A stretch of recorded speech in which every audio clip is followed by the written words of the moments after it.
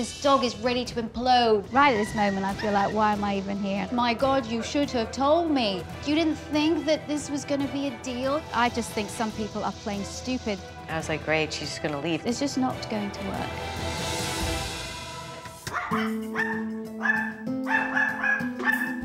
Hello. Oh my God. Are you? I hear, I hear insanity. Like Hello. little. Already. Nice to meet you, Hello, thank you. hi, Well, nice be careful. Nice to meet you. you. And who's this? This dog's bark went straight through my head. When I first came in the door, he was a nightmare.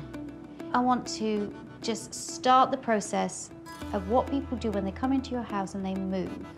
If I was suddenly to move now, I would go, go. And I would walk. What does that do? That tells him, Like okay, first from.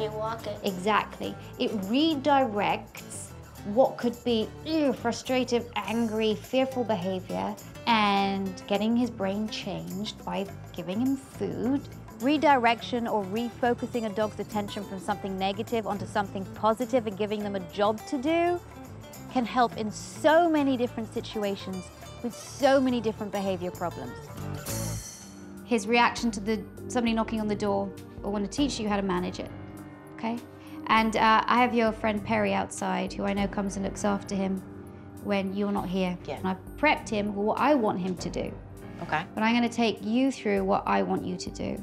And then Michael, you're going to take over. Okay? Michael, for so long, has had such a confrontational relationship with Jake. I wanted him to experience training his dog in a positive way and seeing the results. I'm gonna walk down and let Perry in. Yeah, but you're gonna wait until he calms Calm down. down, correct. Okay. And then I give him a treat. Yeah. Throw a piece of food to him as soon as you see him. Good boy. Good boy, Jakey. Nice. Good boy. Good boy. Like your tone of voice, Michael. That's great. Wait till he's quiet. Good boy. Good. Good boy, Jakey. Shut the door behind your guest. Okay. Now Perry takes over. Good. Perry, throw it past Michael so that the dog goes past you, which means you can walk a little bit. And you can make it to the stool, the piano. Good. Good boy. By getting a dog to do something that they like, seeking out food, you completely change the brain from absolute freak out to work mode. How easy was that? It was easy. Yeah. Now I see that Jake wants to be more like understood as opposed to dominated. There has been a definite change in his behavior, and it's definitely been for the positive. We've seen amazing progress, amazing progress with Jake. It's a new morning. I wanted to check how the door training was going by me knocking on the door. Hey, hi. Morning. Hey.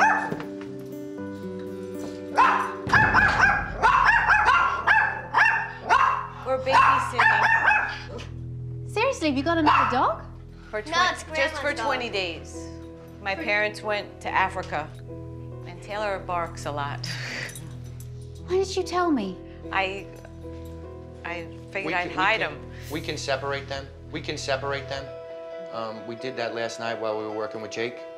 Okay, Taylor was antagonizing him a little bit and continuing the barking, which was Which is really not great for the whole training process. Correct. My God, you should have told me. We're gonna separate them. That, you know, No, why didn't you Jakey, tell me? boy. Why didn't you tell me? I didn't.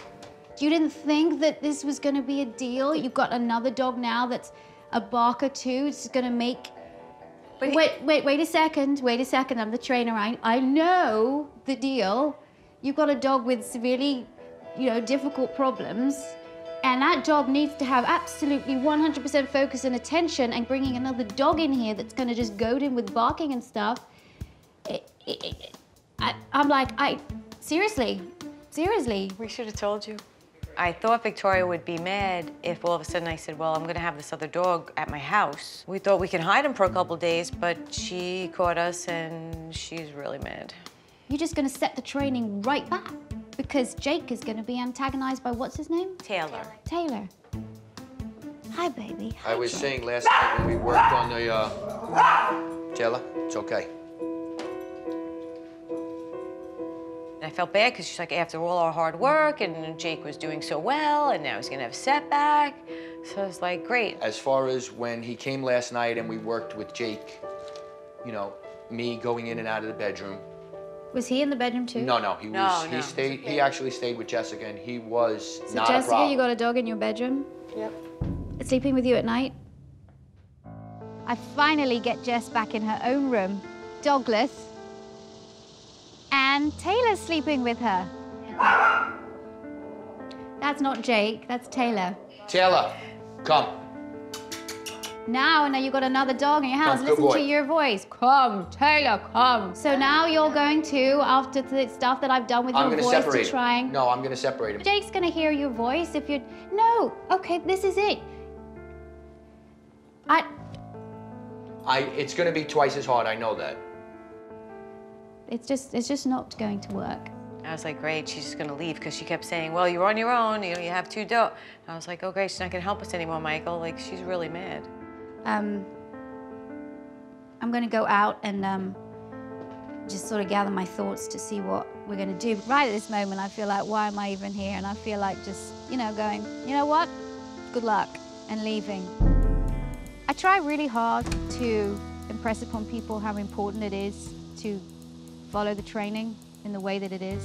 We've seen amazing progress with Jake because we've been concentrating fully on him, focusing on him. Add another dog that's a reactive dog too, and it's going to undo all of the training that we've done with Jake. I'm sorry, but I just think some people are playing stupid, and that's all I can say. I don't think they get it. On the other hand, I'm here for Jake, and I want to help as much as possible with the little time I have left.